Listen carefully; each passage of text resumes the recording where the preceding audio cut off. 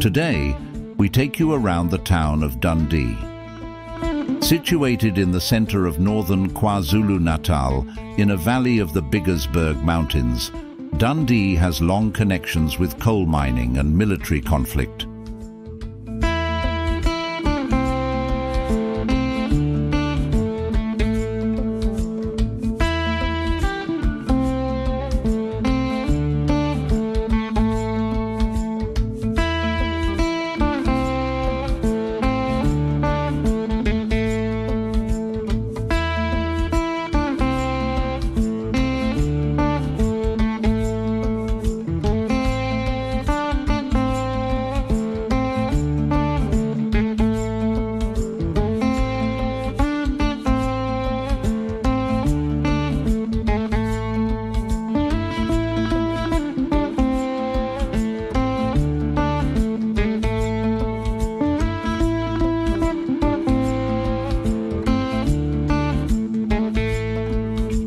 Hello, and welcome back to our channel. If you haven't done this already, please subscribe and press the bell icon. That way you'll find out every time we bring you a new and exciting travel adventure video.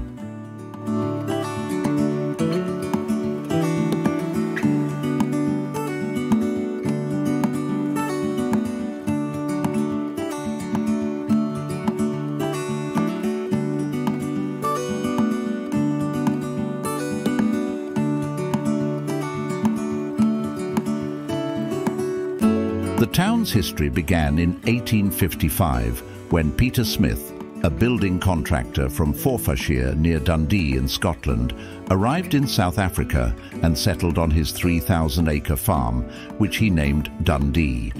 There he discovered coal and started hauling wagon loads to Pietermaritzburg for sale.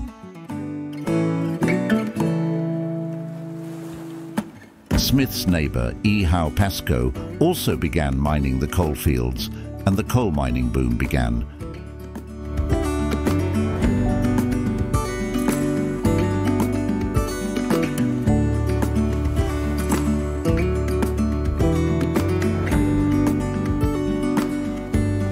As people flocked to the area to begin mining the black gold, talk of establishing a settlement grew, and the first geological survey of the coalfields was made in the 1860s and proved that there were workable coal deposits.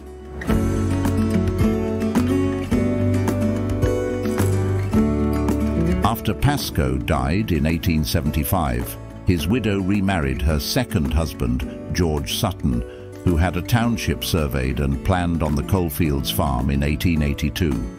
This he too called Dundee, and then sold his interests to Frederick Still, who developed the township.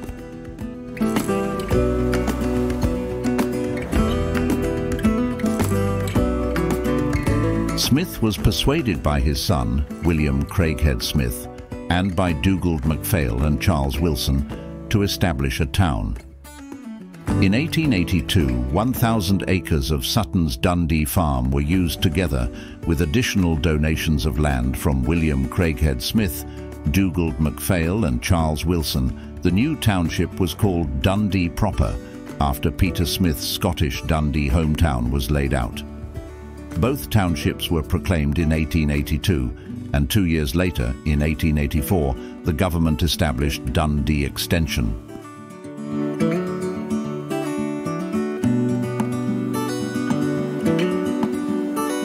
Dundee Coal and Estate Company were listed on the London Stock Exchange in 1899 by Peter Smith, together with partners Dugald MacPhail and Charles Wilson.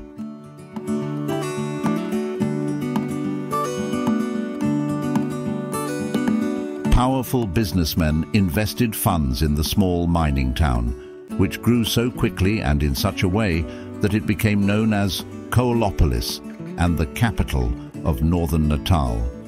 The influx of wealth and resources transformed the once quiet town into a bustling hub of industry, attracting workers from all over the region seeking employment opportunities in the booming coal mining sector. The mining tycoons worked to give the town electricity, and the little coal town soon had many magnificent churches and other impressive buildings. Dundee's progress came to an abrupt halt during the Second Boer War in 1899 when British forces and Boers clashed nearby. The news of this conflict entered the media in Britain as the Battle of Glencoe, which was corrected to the Battle of Dundee on the third day. Following the conflict, British troops fled to Ladysmith, while Boer forces took control of Dundee and renamed it Meyersdorp. The occupation lasted seven months.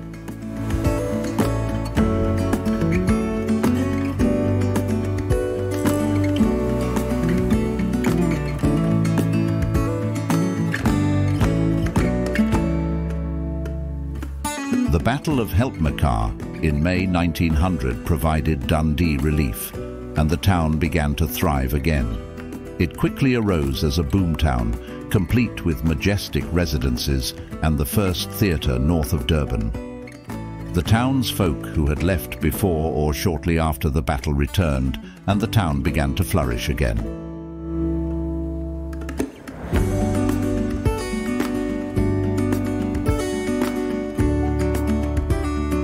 During the following decade, Dundee became the meeting point of seven paths into Africa's hinterland and coast, attracting pioneer traders from the Indian subcontinent. Gandhi opposed and led numerous marches and demonstrations. Perhaps the most well-known march was in 1913. Gandhi staged a protest assembly on the grounds of the Dundee Temple in 1913 as part of his anti-poll tax campaign. More than 3,000 persons attended this meeting. A party of 11 Indian ladies, including Gandhi's wife, risked arrest by crossing from Natal to the Transvaal without permission. Indian workers in the coal mines in Newcastle and Durnacol staged a solidarity walkout. As the coal mine owners retaliated, Gandhi came to believe that he was accountable for the miners and their families. He was detained en route after deciding to walk the 2,037 men, 127 women and 57 children from the mines to the Tolstoy village.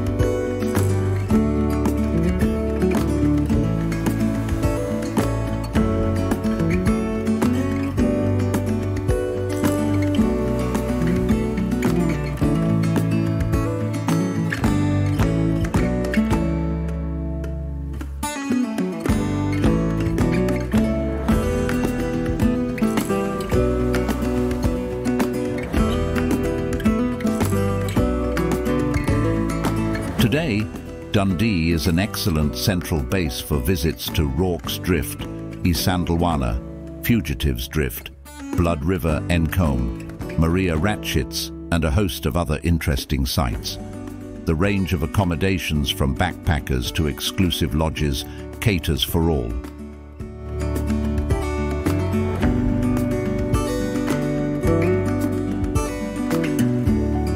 tours concentrating on military history, Zulu culture, game viewing, hunting, birding and fishing, horseback riding and white river rafting are all provided. It also includes Peter Smith's house and farmstead, one of the best glass collections in South Africa, and many more attractions.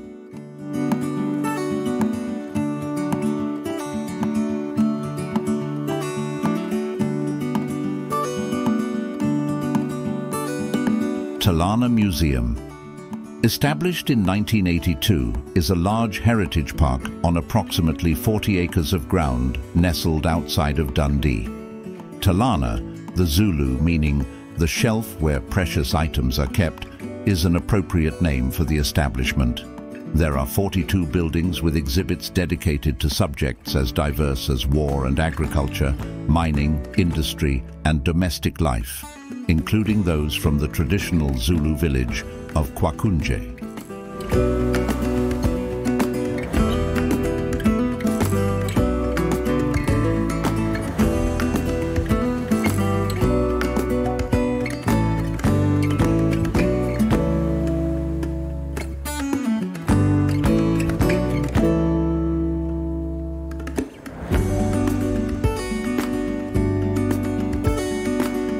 Hope you enjoyed this video and found it informative and entertaining. Please like, subscribe to and share our videos. Your support means the world to us and it allows us to continue creating valuable content for you.